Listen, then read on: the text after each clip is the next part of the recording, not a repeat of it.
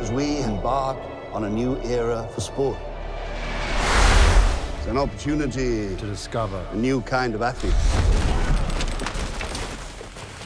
Okay, hands up. That was my fault. For as long as I can remember, Champion! it has been my ambition to become an Olympian. Eddie, you are not an athlete. What I never going to go to the Olympics. I'm going to go to the Winter Olympics. You will never be Olympic material. Let's do it.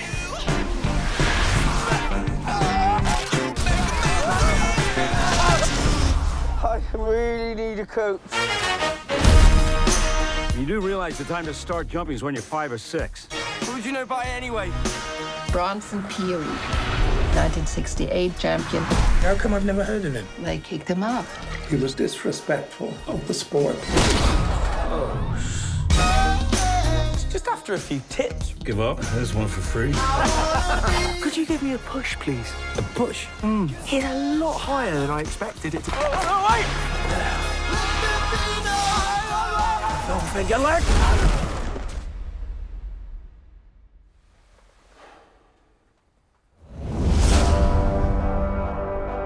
You're not gonna give up, are you?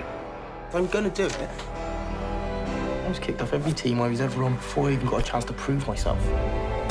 That's why I need my own moment. It's a world that doesn't want to know you. So what's new? I know what it's like to be written off. I can get you a moment. It's gonna hurt like hell.